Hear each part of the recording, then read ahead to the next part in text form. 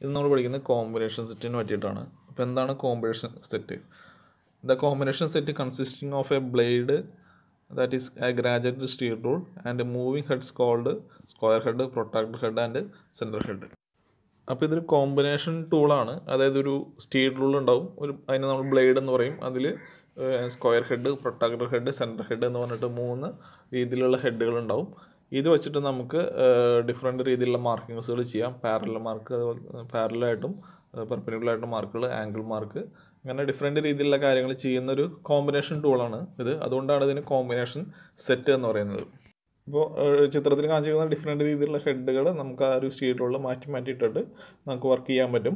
ഇത് ഫിറ്റിംഗ് ഷോപ്പിൽ വളരെ വേഗത്തിലും എളുപ്പത്തിലും വർക്ക് ചെയ്യാൻ സാധിക്കുന്നതാണ്.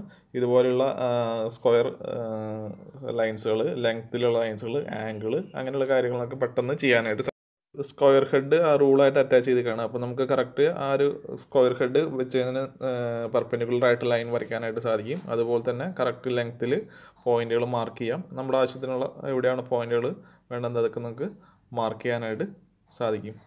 ഇതതുപോലെ തന്നെ കറക്റ്റ് പാരലും പെർപ്പൻഡിക്കുലർ ആയിട്ട് നമുക്കൊരു സ്ക്വയർ കറക്റ്റ് സ്ക്വയർ ആയിട്ടൊരു വർക്ക് അവിടെ മാർക്കണിങ് അത് ചെയ്യാനായിട്ട് സാധിക്കും. ഇനി സ്ക്വയർ ഹെഡിന്റെ ഒരറ്റം എന്ന് പറയുന്നത് ഫോർ ഫോർട്ടി ഫൈവ് ഡിഗ്രിയാണ് അപ്പോൾ അങ്ങനെ ഫോർട്ടി ഫൈവ് ഡിഗ്രി ചേർത്ത് വെച്ചിട്ടുള്ള ലൈൻസുകളും വരയ്ക്കാനായിട്ട് സാധിക്കും. അതുപോലെ തന്നെ നമുക്ക് കറക്റ്റ് ഇതിന്റെ സ്ക്വയർനെസ് നമുക്ക് മെഷർ ചെയ്യാനൊക്കെ ഇതായിട്ട് സാധിക്കും. അതുപോലെ തന്നെ ഡെപ്തുകൾ എടുക്കാൻ അങ്ങനെയുള്ള കാര്യങ്ങളൊക്കെ ചെയ്യാൻ പറ്റും.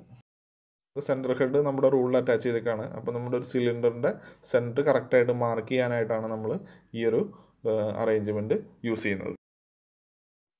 അടുത്ത് പ്രൊട്രാക്ടർ ഹെഡാണ് അപ്പോൾ പ്രൊട്രാക്ടർ ഹെഡ് നമുക്ക് ഡിഫറെന്റ് ആംഗിൾ മാർക്ക് ചെയ്യാനും അതുപോലെ തന്നെ സെറ്റ് ചെയ്യാനും മെഷർ ചെയ്യാനായിട്ടാണ് നമ്മൾ ഉപയോഗിക്കുന്നത്.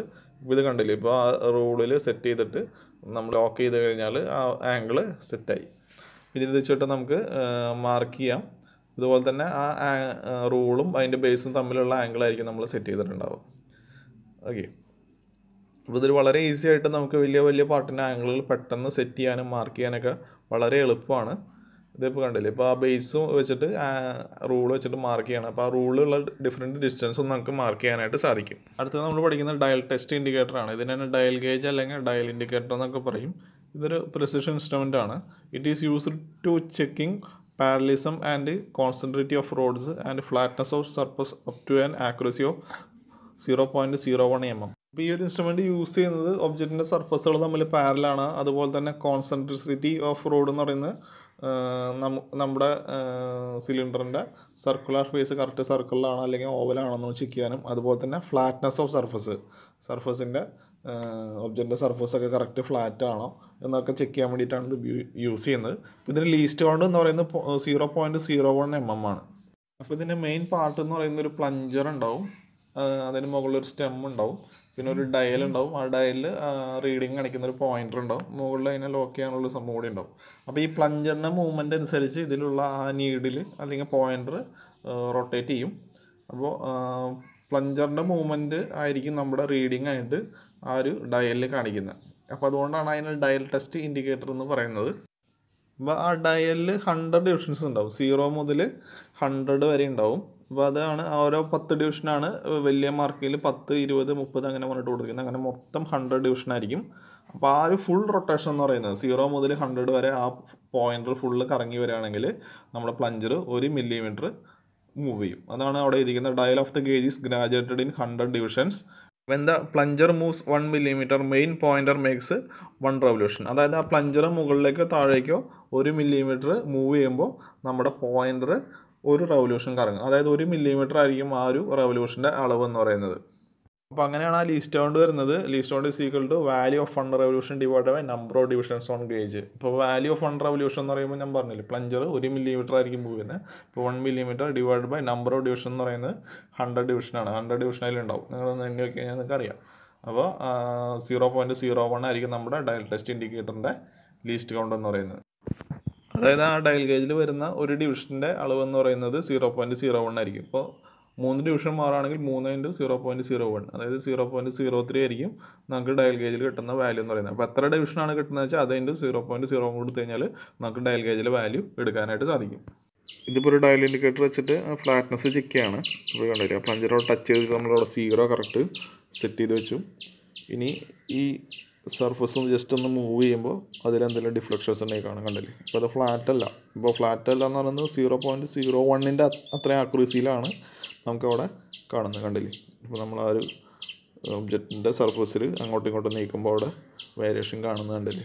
അപ്പോൾ എങ്ങനെയാണ് ഇതിന്റെ ഫ്ലാറ്റ്നെസ് ചെക്ക് ചെയ്യുന്നതിന്റെ കോൺസെൻട്രിസിറ്റി ചെക്ക് ചെയ്യുകയാണ് ഇപ്പോൾ കണ്ടില്ലേ? ആ ഒരു പ്ലഞ്ചർ നമ്മൾ ടച്ച് ചെയ്ത് വെച്ചിട്ട് പിന്നെ നമ്മൾ കറക്റ്റ് ഇവിടെ സീറോ സെറ്റ് ചെയ്യും.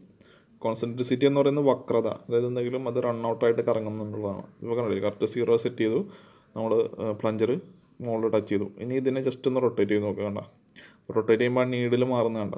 അതായത് കറക്റ്റ് ഇത് സർക്കുലർ അല്ല എന്നുള്ളതാണ് അതിന് അർത്ഥാക്കുന്നത് അതൊരു വീ ബ്ലോക്കിന്റെ മുകളിൽ വെച്ചിട്ടാണ് ചെക്ക് ചെയ്യുന്നത് അപ്പോൾ അതും ഈ പറഞ്ഞ പോലെ തന്നെ സീറോ പോയിന്റ് സീറോ വൺ ആക്യുറസിയിലാണ് അത്രയും ആക്യുറസിയിലാണ് അറിയാൻ പറ്റും. നമ്മൾ കറക്റ്റ് കണ്ണുകൊണ്ട് നോക്കിയാലൊന്നും നമുക്ക് അറിയാൻ പറ്റില്ല. ഡെമോയ്ക്ക് വേണ്ടിയിട്ട് ഞാൻ കാണിച്ചു തന്നാണ് ഇതൊക്കെ ഇത് നമുക്ക് പഠിക്കാനില്ല. ടെക്സ്റ്റുകൾ മാത്രം പഠിച്ചാൽ മതി. Next vernier bevel protractor or universal bevel protractor ഇതും ആംഗിൾ മെഷർ ചെയ്യാനുള്ളൊരു ഉപകരണം തന്നെയാണ്. മെഷർ ചെയ്യാൻ അതുപോലെ തന്നെ മാർക്ക് ചെയ്യാനുള്ളൊരു ഉപകരണമാണ്. ഇതിന്റെ മെയിൻ പാർട്ട് എന്ന് പറയുന്നത് ബ്ലേഡ് പിന്നെ ബീം അഥവാ സ്റ്റോക്ക് എന്ന് പറയും. പിന്നെ ഒരു മെയിൻ സ്കെയിൽ അതുപോലെ തന്നെ ഒരു വെർണിയർ സ്കെയിൽ ഉണ്ടാവും. അപ്പോൾ ഈ ഒരു സ്കെയിൽ അഥവാ അതിനെ പറയുന്ന സ്യുവൽ പ്ലേറ്റ് എന്നാണ് പറയുക അത് നമുക്ക് ഈ ബ്ലേഡിനെ ബേസ് ചെയ്തിട്ട് ഫുള്ളായിട്ട് റൊട്ടേറ്റ് ചെയ്യാനായിട്ട് സാധിക്കും. അപ്പോൾ ഈ ബ്ലേഡിന് സ്റ്റോക്കിന് ഇടയിലുള്ള ഭാഗം വെച്ചിട്ടായിരിക്കും നമുക്ക് മെഷർ ചെയ്യുന്നത്. അപ്പോൾ പല ഡിഫറെന്റ് പൊസിഷനിൽ വെച്ചിട്ട് ഇതിന് നമുക്ക് മെഷർ ചെയ്യാനായിട്ട് സാധിക്കും. അപ്പോൾ the vernier bevel protractor is used to measure angles with an accuracy of five minutes അതായത് ആ minute is one by six of a degree അതായത് ഇതിന്റെ ആക്യുറസി അഥവാ ലീസ്റ്റ് കൗണ്ട് എന്ന് പറയുന്നത് ഫൈവ് മിനിറ്റ് ആയിരിക്കും. അപ്പോൾ ഫൈവ് മിനിറ്റ് എന്ന് പറയുന്നത് one by six of a degree ആയിരിക്കും. അതായത് ഒരു ഡിഗ്രിയിൽ സിക്സ്ത്തിൽ ഒരു പോർഷൻ അതായത് ഒരു ഡിഗ്രി ഡീനെ നമ്മൾ അറുപത് ഭാഗമായിട്ട് ബാക്കിയാണെങ്കിൽ അതിലത്തെ ഒരു ഭാഗം. അപ്പോൾ അത് എന്ന് പറയുന്നത് വൺ ബൈ സിക്സ് എന്ന് പറയുമ്പോൾ zero point zero one six six അങ്ങനെ പറഞ്ഞിട്ട് പോകും.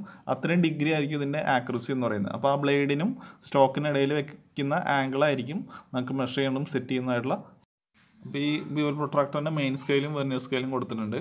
അപ്പോൾ main scale zero ten twenty thirty അങ്ങനെ പറഞ്ഞിട്ട് ഡിവിഷൻസ് കൊടുത്തി മാർക്കിങ്സുകൾ കൊടുത്തിട്ടുണ്ടാവും. അത് അത്രയും ഡിഗ്രീസ് ആണ് കാണിക്കുന്നത്.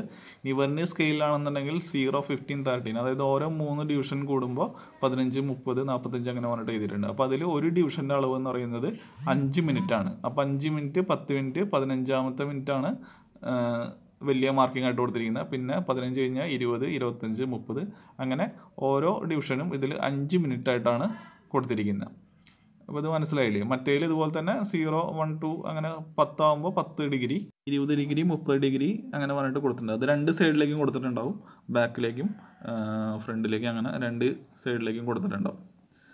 ഓക്കെ ഇനി എങ്ങനെയാണ് റീഡിങ് എടുക്കുന്നത് നോക്കാം. അപ്പോൾ ഇതിലൊരു റീഡിങ് സെറ്റ് ചെയ്തിട്ടുണ്ട്. നിങ്ങളുടെ ടെക്സ്റ്റ് ബുക്കിലുള്ള തന്നെയാണ്. അതിൽ ജസ്റ്റ് ഒന്നുകൂടി റെഫർ ചെയ്ത് കഴിഞ്ഞാൽ അറിയാൻ പറ്റും. അപ്പോൾ റീഡിങ് എത്രയാണെന്നുള്ളത് ഞാൻ പറഞ്ഞുതരാം. സ്കെയിലിൽ റീഡിംഗ് എടുക്കാനായിട്ട് വെർണിയർ സ്കെയിലിൽ സീറോ ഏത് ഡിവിഷനിലായിട്ടാണ് ഡിവിഷനിലാണ് നിൽക്കുന്നത് എന്നുള്ളത് നോക്കുക അപ്പോൾ അത് മെയിൻ സ്കെയിലിൽ ഇരുപത്തെട്ടാമത്തെ ഡിഗ്രിയിലാണ് വന്നിരിക്കുന്നത്. കണ്ടില്ലേ? ഇരുപത് വലിയ ഡിവിഷൻ ഇരുപത്തഞ്ച് അതിന്റെ ചെറിയ ഡിവിഷൻ പിന്നെ ഒന്ന് രണ്ട് മൂന്ന്. അതായത് ഇരുപത്തെട്ടാമത്തെ ഡിവിഷൻ കഴിഞ്ഞിട്ടാണ് നമ്മൾ സീറോ പോയിന്റ് നിൽക്കുന്നത്. അപ്പോൾ മെയിൻ സ്കെയിൽ റീഡിംഗ് എന്ന് പറയുന്നത് ഇരുപത്തെട്ട് ഡിഗ്രിയാണ് ഇനി വെർനർ സ്കെയിൽ റീഡിംഗ് എടുക്കാനായിട്ട് നമ്മൾ പഴയ പറഞ്ഞ കാലിപ്പറിലൊക്കെ ഓടിച്ച പോലെ തന്നെ ഏത് വെർനർ സ്കെയിലിലെ ഏത് ഏതെങ്കിലും ഒരു ലൈൻ മെയിൻ സ്കെയിലിൽ ഏതെങ്കിലും ലൈനായിട്ട് നേർരേഖയിൽ വരുന്നുണ്ടോ എന്ന് നോക്കുക. ഇപ്പോൾ ഇത് നോക്കിക്കഴിഞ്ഞാൽ വെർണിയർ സ്കെയിലിൽ ആ പതിനഞ്ച് എന്ന് എഴുതിയിരിക്കുന്ന ഡിവിഷൻ മെയിൻ സ്കെയിലിലെ ഏതൊരു ഡിവിഷനായിട്ട് നേർരേഖയിൽ വരുന്നുണ്ട്. അപ്പോൾ നമ്മുടെ വെർണിയർ സ്കെയിൽ റീഡിംഗ് എന്ന് പറയുന്നത് പതിനഞ്ചാണ്. അതായത് പതിനഞ്ച് മിനിറ്റ് ആണ് അത്. സീറോ കഴിഞ്ഞ അടുത്ത ഡിവിഷൻ അഞ്ചാമത്തെ ഡിവിഷൻ അഞ്ച് മിനിറ്റ് പിന്നെ അടുത്ത ഡിവിഷൻ പത്ത് മിനിറ്റ് പിന്നെ പതിനഞ്ചെന്ന് എഴുതിയിരിക്കുന്നത് പതിനഞ്ച് മിനിറ്റ്. അപ്പോൾ നമ്മുടെ റീഡിംഗ് എന്ന് പറയുന്നത് ഇരുപത്തെട്ട് ഡിഗ്രി പതിനഞ്ച് മിനിറ്റ് ആയിരിക്കും. ഇങ്ങനെയാണ് ഇതിന്റെ റീഡിംഗ് എടുക്കുന്നത്. റീഡിംഗ് എടുക്കുന്നൊന്നും പഠിക്കാനില്ല ഞാൻ ജസ്റ്റ് പറഞ്ഞു എന്നുള്ളൂ. അപ്പോൾ ഇതൊക്കെ ജസ്റ്റ് ഒന്ന് മനസ്സിലാക്കി വെച്ചാൽ മതി. നമ്മൾ ടെസ്റ്റിലുള്ള അത് അത്രയും കാര്യങ്ങൾ മാത്രമേ നമുക്ക് ഇതിൽ പഠിക്കാനുള്ളൂ. അത് മാത്രം നോക്കി വയ്ക്കാം ഓക്കെ താങ്ക്